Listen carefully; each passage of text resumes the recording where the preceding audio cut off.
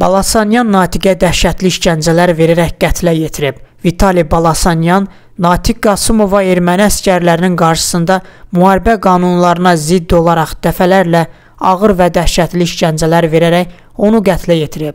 Telegraf.com xəbər verir ki, bu barədə əsir və itkin düşmüş, girov götürülmüş vətəndaşlarla əlaqədar dövlət komissiyasından verilən açıqlamada qeyd olunub.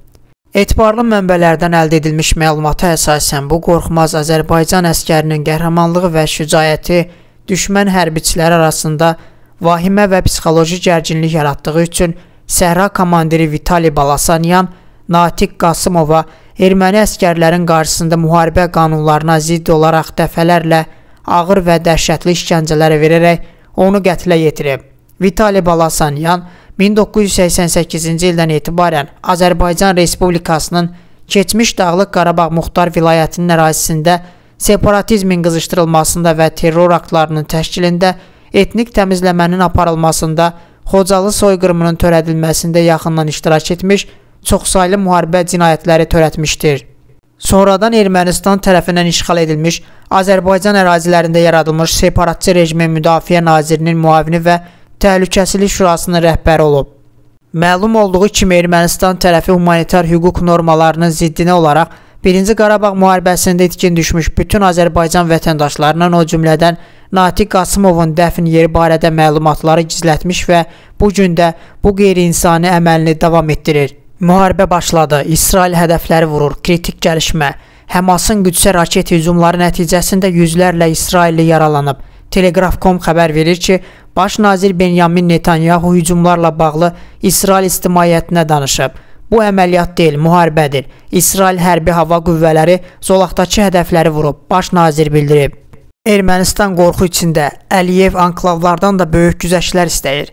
Ermənistanın ictimai-siyasi idarələr Qranadada Azərbaycan prezidenti İlham Əliyevin iştirakı olmadan keçirilən dörd tərəfli görüşü növbəti biabırçılıq kimi qiymətləndirirlər. Qranadada Paşinyan növbəti dəfə imzaladığı bəyanatla Azərbaycanın ərazi bütövlüyünü tanıyıb. Ermənilər Qərb platformasında imzalanmış bəyanatdan irəli gələn yeni ərazi itkiləri, anklavların geri qaytarılması haqqında danışırlar. Turkustan az xəbər verir ki, Ermənistan parlamentinin Ermənistan fraksiyasının üzvü Artur Xaçatıryan Hraparaka müsahibəsində xatırladıb ki, düz bir il əvvəl bu gün Praqada keçirilən dörd tərəfli görüşdən sonra Michel Ermənistan və Azərbaycanın bir-birinin ərazi bütövlüyünü tanıdığını bəyan edib. Deputatın sözlərinə görə Paşinyan 29800 kvadrat kilometr ərazini tanımaqla Əliyev Ermənistanın həmin kəndlərlə bağlı ambisiyalarının olmadığı barədə qanuni hüquq verib. Paşinyan dedi ki, Azərbaycanın ərazi bütövlüyünü tanıyır. Əliyev deməyib ki, Ermənistan ərazisini tanıyır. Əliyevin Qranadaya getməməsi o deməkdir ki, o təkcə arsaq istəməyib, həm də əlavə tələbləri var. O tələblər kağıza yazılana qədər o görüşə getmədi. Əliyev anklavlardan da böyük güzəştlər istəyir deyə o bildirib. Baxmayaraq ki, anklavları itirmək Ermənistan üçün böyük güzəşt və fəlakət olacaq. Xaçatıryanın sözlərinə görə Türkiyə və Azərbaycan Paşinyana birgə tələblər təqdim edirlər. Türkiyə erməni soyqırımının tanınması və pislənməsi siyasətindən əl çəkməyi, birinci respublikasının simvollarından istifadədən imtina etməyi tələb edir. Artur Xasatıryanın sözlərinə görə biz Ermənistan-Azərbaycan münasibətlərinin kəskinləşməsi ilə Qranadada Nikol Paşinyan, Avropa Şurasının sədri Charles Michel, Fransa prezidenti Emmanuel Macron və Almaniya kansleri Olaf Scholzun imzaladığı bəyanatın nəticələrini hiss edəcəyi Deputatın sözlərinə görə Əliyev anklavların qaytarılmasını tələb edəcək. Xatırladaq ki, 2023-cü ilin may 22-sində keçirdiyi mətbuat konfransında Paşinyan Azərbaycanın ərazi bütövlüyündə anklavları tanıdığını bəyan edib. Anklavlar da 86.600 min kvadrat kilometr əraziyə daxildir. Makron Rusiyanın ayağına bastı. Ermənistan yeni fəlakətin astanasında. Cənubi Qafqazı yenidən qan çalağına döndərmək istəyən xarici qüvvələr aktivləşiblər. Şübhəsiz ki, bu məsələdə öndə Fransanın adını qeyd edə bilərik. Rəsmi Paris Azərbaycanın regionda yaratdığı yeni geosiyasi reallığı nəinki 3 ildir qəbul edə bilmir. Bu reallığı dəyişmək üçün yeni bir eskalasiyaya şərait belə yaratmaqda maraqlı olduğunu gizlətmir. 3 gün əvvəl İrəvanda səfərdə olan Fransa Xarici İşlər Naziri Kalonna Ermənistana silah satışı ilə bağlı razılaşma əldə olunduğunu, lakin razılaşmanın detalları barədə məlumat verilməyəcəyini açıqlayıb. Kolonna deyib ki, Ermənistan Fransa kimi müttəfiqin ardıcıl dəstəklərinə güvənə bilər. Bu açıqlamalar təkcə Ermənistana dəstək ifadə etmir, eyni zamanda Azərbaycana bir təhdid qoxusunu açıq duymaq mümkündür.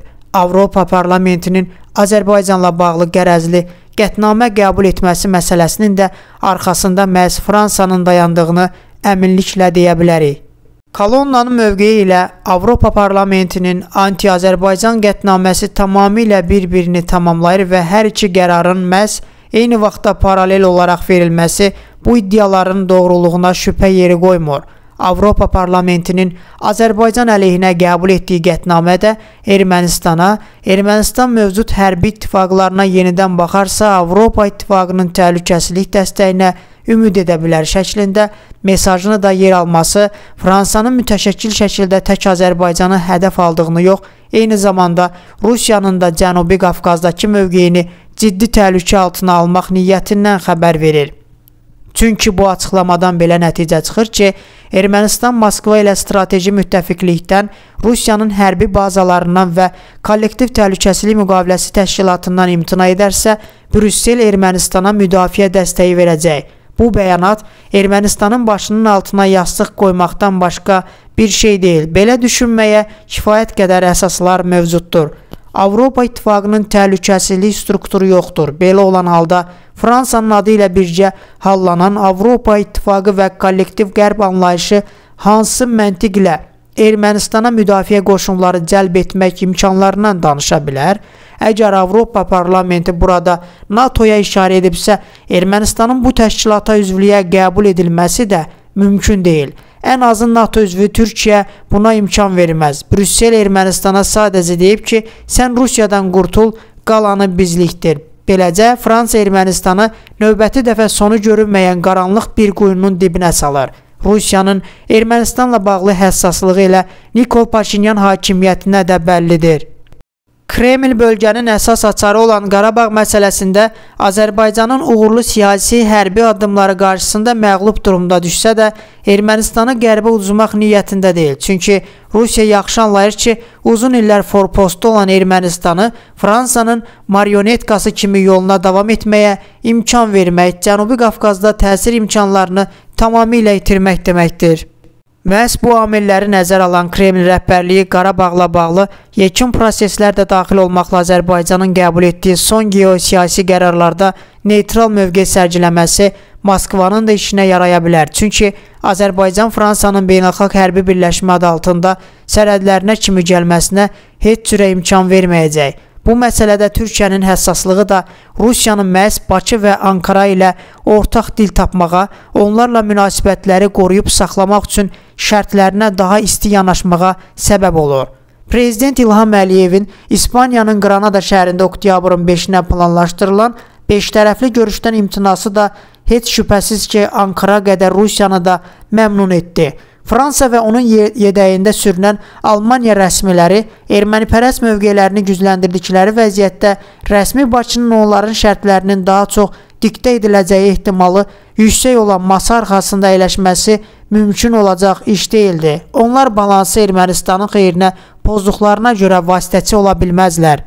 Halbuki Azərbaycan prezidenti İlham Əliyev ilə Ermənistanın baş naziri Paşinyan arasında görüşlər Avropa İttifaqının rəhbəri Mişelin vasitəsilə keçirilirdi və bu görüşlərdə nisbətən müsbət atmosfer formalaşmışdı. Fransa prezidenti Emmanuel Macron masada oturmağa başladıqdan bu yana Brüsselin vasitəçiliyində bir geriləmənin şahidi olduq. Mişelin Macronun təzyiqi ilə masa iştirakçılarının sayını artırması yanlış qərar idi. Rusiyada məhz özünün afsayda qaldığı bu formatda Cənubi Qafqaz uğrunda mövqe savaşında əsas maneəyə çevrilməkdə olan kollektiv qərbin belə bir planın baş tutmamasından ancaq məmnun ola bilər. İlham Əliyevin masada Fransa və Almaniya varsa Türkiyədə olmalıdır tələbi olduqca yerində verilmiş qərardır. Yaxşı olar ki, Avropa İttifaqı Bakının mövqeyini mütləq nəzərə alsın.